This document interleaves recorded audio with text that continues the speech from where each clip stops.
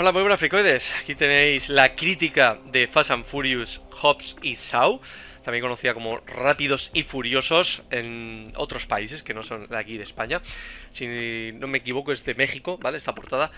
Y bueno, esta vez la estoy haciendo en directo, en riguroso directo, sin edición. Acabo de, de venir, de llegar, de ver la película en el cine. Estas son mis primeras impresiones así en caliente. Y bueno, más o menos me he preparado un pequeño guion aquí eh, en el Google Chrome, así que más o menos como puedo. Y vamos allá, venga, vamos a, darle caña. Mando un saludo a la gente que está en el chat. Ahora mismo, eh, bueno, ahora mismo está de, Doctor Ward o DR Ward, como ya ves, dice, buenas, la acabo de ver y te con el humor. Bueno, bueno, bueno. A mí, la película bueno, saludo también a Álvaro Encina, saludos más desde Hermosillo, México. Aquí calor de 42 grados, ¿no? Aquí, aquí en España también hace un calor que lo flipas, pero tanto como para llegar a 42 grados, no lo sé. Si habrá alguno, son muchos grados. Bueno, a mí la película me ha encantado. Me ha encantado Fast and Furious, Hobbs y Shaw. Me ha encantado y es más o menos lo que yo esperaba. Realmente yo me esperaba algo mejor, ¿vale? Me esperaba algo mejor. Pero la película me ha gustado muchísimo, ¿vale? Le pongo eh, el icono palomitero, ¿vale? Por excelencia, porque me parece que es muy buena película de acción. De lo mejor que se puede hacer hoy en día, de las mejores películas de acción que, que podemos ver hoy en día, es Fast and Furious, la saga Fast and Furious y su spin-off.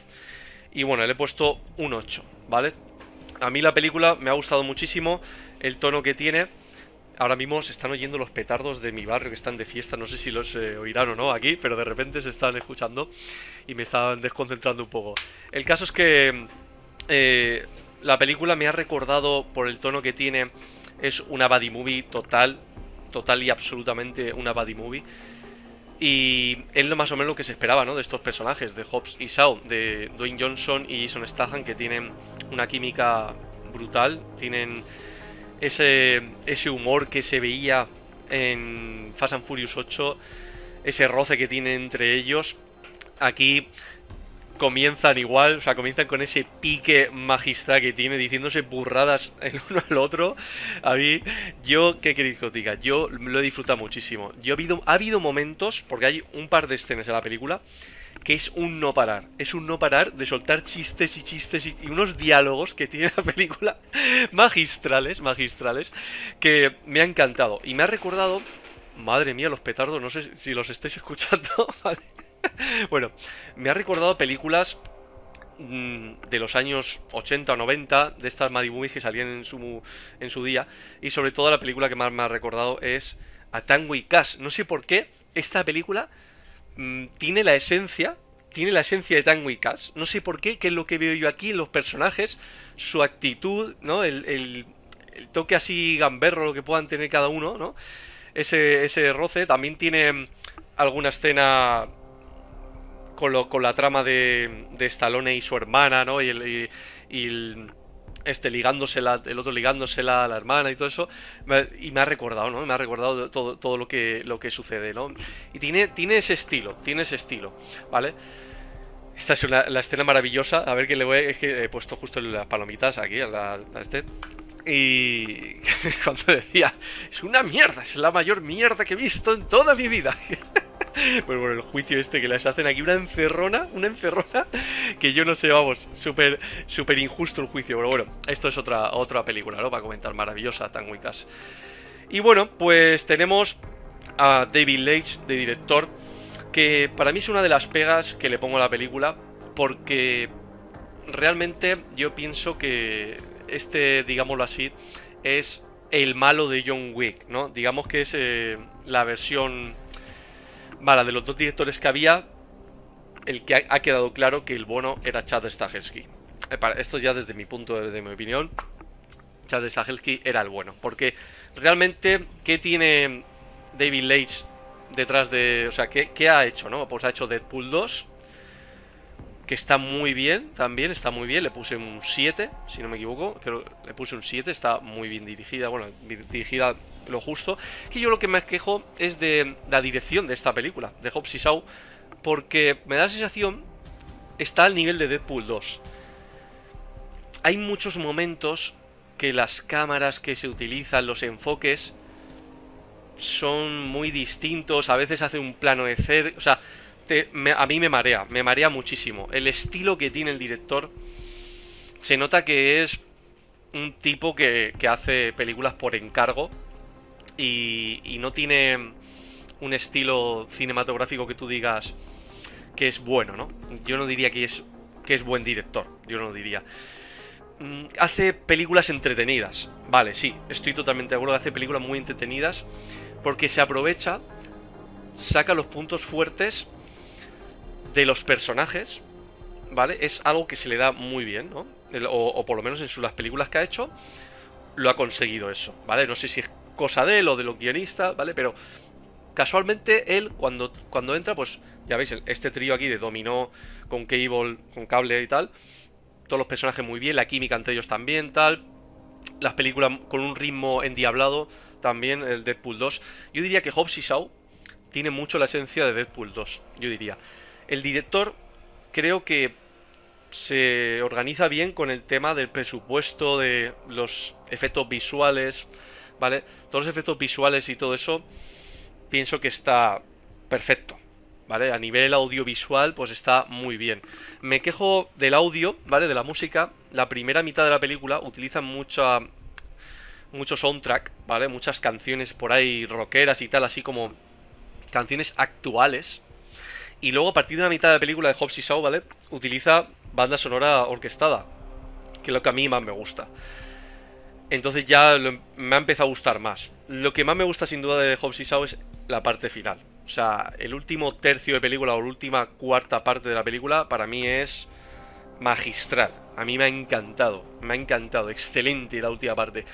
Pero la primera parte la he sentido un poco cliché, no sé, un poco típico, ¿no? De, de 20.000 películas que hemos visto de cine de acción.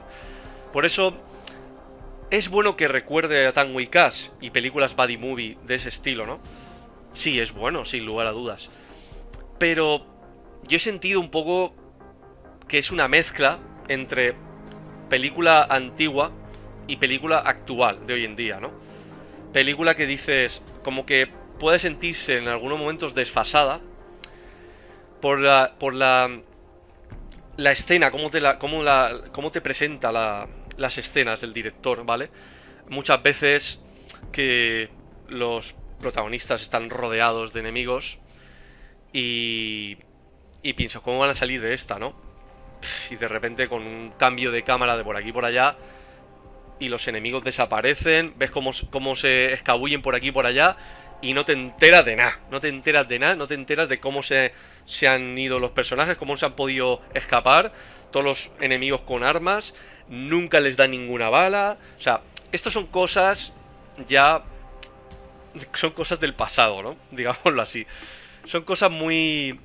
que hoy en día yo pienso que, esos temas se cuidan mucho más en películas de, de acción de hoy en día, ¿no? Como, yo qué sé, Misión Imposible, John Wick y muchas otras, ¿no? Como podéis imaginar. E incluso Fast and Furious también, yo pienso, yo no les veo estas deficiencias. También es verdad que, que no utilizan tantas armas, ¿no? En, en la saga Fast and Furious. Sí que hay algunos momentos con armas y tal, pero no es tan bestia como esta película. Es que esta película es otro rollo, ¿no? O sea, bueno, esta de Deadpool 2 no. Me refiero a Hobbs y Shaw. Es más una película de acción pura y dura.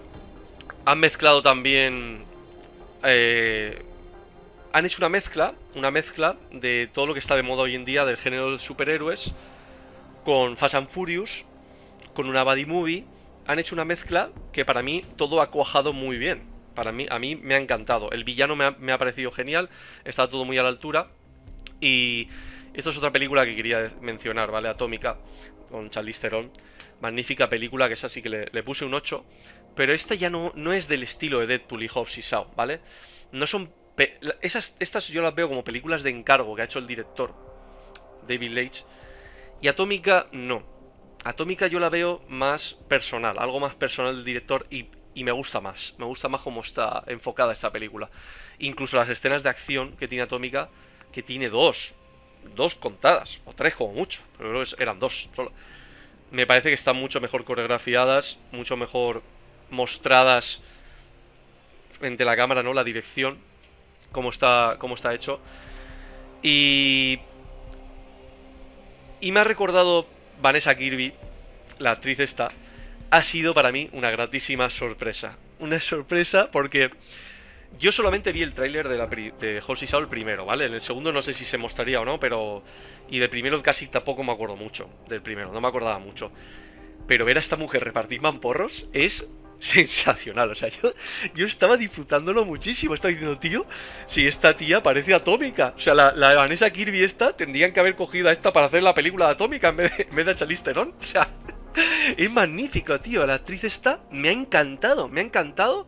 Vanessa Kirby, que ya salía como la viuda blanca, la llamaban en eh, Misión Imposible Fallout. Me parece un acierto rotundo. De lo mejor que tiene esta película, sin lugar a dudas, es el casting. El casting es magnífico, es excelente. Me encantó, me encanta todos los actores que han salido ahí. Que salen ciertos actores que no os voy a revelar hasta el final del vídeo.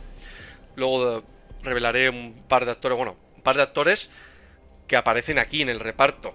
¿Vale? En la ficha del reparto aparecen, pero yo no sabía que salían. Entonces, para quien, no lo quiera saber, pues lo diré al final, ¿vale? Pero me parece magistral. La, actriz esta me ha encantado. A mí me ha encantado. Su personaje, todo. O sea, los personajes están muy bien trabajados. Todos, todos. Hasta el villano de esta película también está muy bien trabajado. Eh, y sobre todo, por lo que he dicho, esos dos personajes, ¿vale?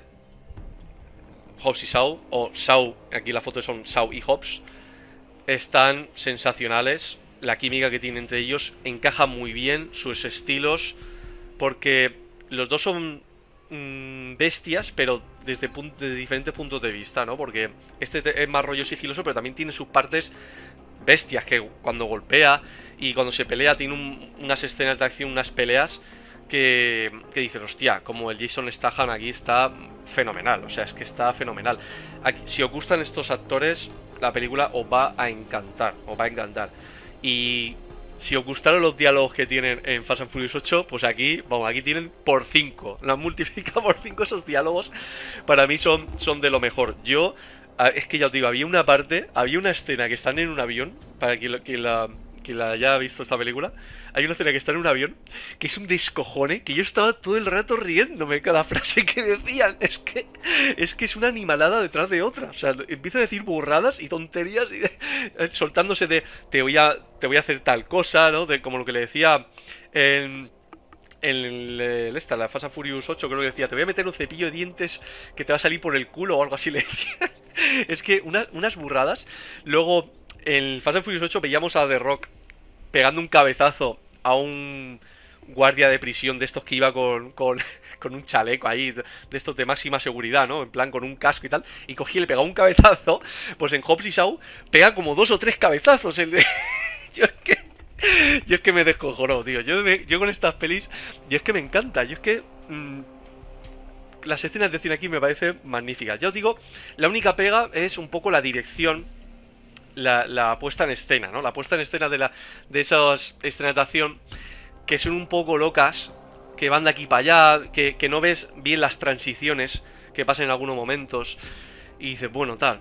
Y luego algunas peleas que hay, cambia demasiado de cámara. A mí me gustaría que cambiase mucho menos de cámara para ver bien los golpes que dan y tal. Aún así, se pueden disfrutar. Se pueden disfrutar perfectamente porque muchas películas, o la gran mayoría de las películas, hacen estas escenas de, peleas, digámoslo así, ¿no? Muchos la, hacen así. Entonces, estamos, por así decirlo, estamos como acostumbrados, ¿no? Pero cuando te enseñan lo bueno, cuando enseñan John Wick o otras películas así con mejor hechas las peleas, pues aquí ya canta un poco más, ¿no? Pero bueno, es un poco por ser un poco puntilloso, ¿no? Pero lo estaba comentando. El personaje de Hobbs, magnífico, te cuentan mucho más trasfondo, le meten un trasfondo al personaje magnífico con su hija, con su familia, que ya lo habéis visto en el tráiler y algunas imágenes, meten a, a, su familia, que por cierto iba a salir Jason Momoa haciendo de un familiar suyo, pero, o sea, le ofrecieron salir, pero Jason Momoa no pudo por problemas de agenda, y se supone que está confirmado que va a salir para la secuela, ¿vale? Para la secuela sí que, sí que saldrá, lo que supongo que ya no será familiar, a lo mejor es un el mejor amigo de la infancia de, de Hobbs, ¿no? De, de La Roca. Magnífico el personaje, me encanta. Meten también otros personajes, bueno, los mencionan, ¿vale? Mencionan esto, como, tomarlo como un mini spoiler, porque vamos, mencionan al padre de Hobbs también, como que está encarcelado y tal, como, y dices, oye, esto para una secuela puede estar interesante, a ver, o sea, yo pagaría por ver, por ejemplo, a, Schwarzenegger diciendo que es el padre de The Rock, ¿vale? Porque si veis a la madre, la madre aparece, la madre de, Hobbs, aparece en la película, que es una samoana de esta, que es samoana 100%, o sea, y mezclado con, con Schwarzenegger podría dar a, The Rock. Estaría interesante ver algo así, o sea, sería muy, muy, muy bien.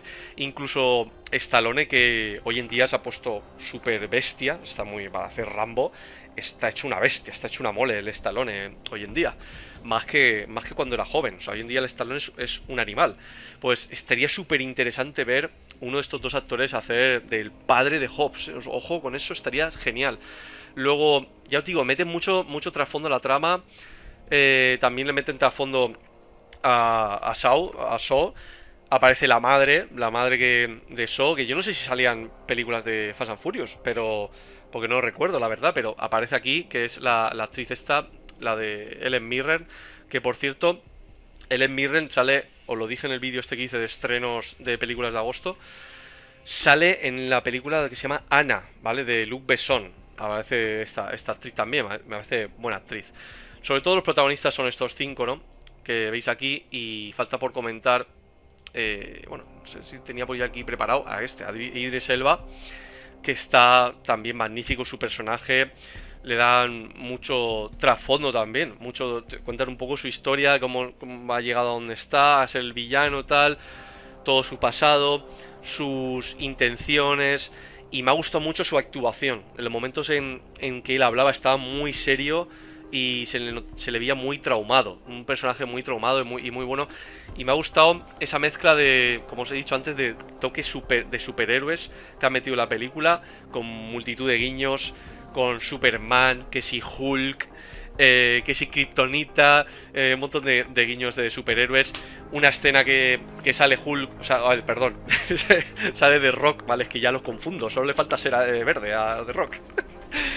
una escena que sale cogiendo así con los brazos abiertos, cogiendo, cogiendo, ¿vale? Y me ha recordado Capitán América, obviamente. O sea, es que es, es como guiños visuales, digámoslo así, ¿no? A películas superheroicas. Y, y bueno, me ha encantado. O sea, todo eso me ha encantado. Y no sé qué más comentaros, la verdad. Eh, poco cosa más me queda por decir. Que estoy así sin guion, ya sabéis, ¿vale? Mando un saludo a la gente que anda en el chat, voy a echar un vistazo para dar saludos a Dario Figueri, eh, al Crupe, a Sergio González. Hostia, ¿qué te has puesto aquí? ¿Cómo, ¿Qué es esto de aquí? O sea, ¿cómo, ¿qué es esto de aquí? ¿Nuevo miembro? Como, o sea, acabo de descubrir que tengo un nuevo miembro en el canal, hombre. Muchas gracias, Sergio. No sabía que, mm, que tenía un nuevo miembro, no me ha llegado ninguna notificación ni nada. Bueno, bueno, lo tendré en cuenta, Sergio. Eh, a ver, eh, también Sergio Carvajal, a Juanjo Estepa. Tengo que hacer algo yo con eso de los miembros del canal, para ver cómo tengo que echarle un vistazo a ver cómo es eso. A ver, la hoguera de Gotham por aquí, un saludo Fox. A ver quién más anda por ahí. Mr. Mm, Corso. Eh, Freddy K10 también. David Sánchez. Y Pedro Costa. Hola, saludos. Para mí sí tiene y quiere, quiere ir a eso. No sé qué te refieres. Eh, me quedé viendo Bloodsport, Day Hard, dice Mr. Horse, Lethal Weapon, Arma Letal, Bad Boys, 8 horas, Rush Hour y cosas por el estilo. Si tiene un poco el rollo de estas, voy de cabeza al cine. Mira, escúchame, Mr. Corso. Vete corriendo al cine, porque es que todas las películas que has dicho, ¿vale? Hay alguna que no sé cuál es, Blood, Blood Sport, no sé ahora mismo cuál es, pero todas las demás, Die Hard, Rush Hour y las de 48 horas, igual, o sea, todas esas películas esta peli tiene esa esencia, tío. Ya te digo que a mí me ha recordado muchísimo a Tango y Cash por el tipo de humor y tal. Me ha recordado mucho, tío. Me ha recordado muchísimo. Así que, pues, yo digo, a mí, a mí me ha encantado. A mí me ha encantado. Mario Choa, me gustó tu opinión, Fer. Saludos. Venga, gracias, Mario. Juanjo dice, ah, eso, toda la razón. Fricoide. Pues eso. Eh, pues nada más. Es que tengo aquí algunas imágenes. Vale. Esto actores que aparecen, ¿vale? Que están ahí en el reparto. Este es uno de los que aparece, que este creo que se llama Kevin Hart, algo así, ¿no? Se llama Kevin Hart, ¿vale? Que está aquí abajo. Y aparece, señoras y señores, Ryan Reynolds también, que es algo que me ha sorprendido mucho. Yo no sabía que, aparecía, claro. El director, el director pues hizo Deadpool 2 y claro, Ryan Reynolds pues lo ha metido ahí también. Luego aparece también un personaje, un actor, que ahora mismo no sé cómo se llama y no me lo he preparado, la verdad. Eh, no sé si era Eddie, Marsan, vamos a ver si es este, si es Eddie Marsan. Porque, sí, este, vale. Este actor aparece también, y este actor, si os recordáis, aparecía en la película Atómica, ¿vale? Salía en Atómica. Y a mí me gusta mucho, este tío es muy buen actor, pues yo lo conozco de la serie Ray Donovan, ¿vale? Y este actor es un actorazo, a mí me encanta. Y claro, pues el David Leitch también lo ha fichado para esta película. O sea, el tío ha ido por ahí trayéndose actores de por aquí, de por allá, ¿no? Y bueno, para mí toda esta parte me ha encantado, toda esta parte de Samoa aquí está, está, es brutal, toda esta parte del final a mí me parece bestial. Bestial, o sea, todo esto del helicóptero y tal. Es que me ha recordado muchísimo a Fast and Furious también. O sea, tiene una, persecución que me ha recordado a Fast and Furious. O sea, me ha encantado. Así que bueno, poco más tengo que decir de la película, ¿vale? Ya os he dicho toda mi opinión. Así que bueno, eh, voy a aprovechar para leer así un poquillo de comentarios del chat, ¿vale? Ya que estoy en directo. Y, lo por ahí. Yo creo que he comentado ya todo lo, lo más importante de la película. Lo que más flojea, yo diría que lo que más flojea es la dirección, ¿vale? Y un poco a lo mejor el cliché que puede tener la primera mitad de la película, pues bastante cliché, ¿no? En general la película pues se hace bastante predecible, en general. Películas de acción palomitera típica de, toda la vida, ¿vale? De, y ya os digo, recuerda mucho a películas de los años 80, 90, tal, de, de toda esa época. Solo que ambientada a los tiempos de ahora. Bueno, tiene a veces algunos planos así aéreos y tal que recuerdan a la saga Fast and Furious. Y esa, esa banda sonora también así moderna que recuerda también a Fast and Furious. Tiene ese toque ese toque ya os he dicho que es una mezcla de Fast and Furious mezclado con Buddy Movie, ¿vale? Buddy Movie ochentera, total, ochenterísima, y mezclado con cine de superhéroes, porque bueno, a mí me encanta, o sea, me pone la, la piel de gallina cuando, cuando se pelean estos dos, cuando se pelean con Idris Elba buenísima la pelea, buenísima, o sea, me ha encantado. A mí me ha encantado la, resolución, cómo, cómo, va avanzando la película, cómo se van haciendo colegas, ¿no? Ese, típico buddy movie, típico película de buddy movie, que al principio empiezan así y tal, y luego es que, o sea, se hacen hasta hermanos, o sea, es que es, es, brutal, y, pero siguen teniendo ese toque, esa, ese choque entre ellos y tal, o sea, es que a mí me ha encantado la película, vamos, a mí me parece sensacional. Pienso que puede mejorar, en el tema de la dirección puede mejorar, y en el tema de la historia puede mejorar también. Puede mejorar argumentalmente, ¿no? Haciendo algo, porque la historia es lo típico de, pues que hay un virus y tal, y hay que pararlo y tal. Bueno, hasta el propio The Rock lo dice, dice, es que ya salva al mundo cuatro veces, ¿qué me estás contando? O sea, es que, es que bueno, yo qué sé, hasta cierto punto, pues te tienes que tomar esos diálogos, esas frases, pues como lo que es, no es que es una película de comedia, es una buddy movie con, comedia, ¿no? Y es que me hace gracia esta frase que pone aquí, es que dice, para salvar al mundo se necesita un poco de humor, o sea, un espía y medio, o sea, o sea, es que el eslogan que te utilizan en esta película, pues en la otra es, es, es igual, ¿no? Y bueno, el tío este, el Kevin Hart este, aparte de salir en esta peli con The Rock, también salía en Jumanji, eh, se ve que se han hecho colegas y tal. Supongo que lo habrá metido de rock porque está de productor, de productor eh, Dwayne Johnson. Y, y bueno, pues en general esas son mis impresiones. Yo he salido muy contento de ver la película y pienso que es una peli para volver a ver. Pues te la puedes volver a ver porque es disfrutable, ¿no? Toda esta retratación. Una película que es un no parar. Yo digo, no paran de pasar cosas, pom, pom, pom, pom, pom. Y cuando dices, coño, parece que sea el final de la peli, de repente, coño, miras el reloj y dices, si aún quedan 45 minutos. O sea, aún van a pasar cosas y esos 45 minutos son lo mejor. O sea, es que es lo mejor. O sea, ya os digo, a mí, a mí, a mí me encanta la película. La he disfrutado muchísimo. Venga, voy a echar un vistazo al chat y ya no me, no me enrollo más, ¿eh? Venga. Buen destino. Buen destino. Buen destino.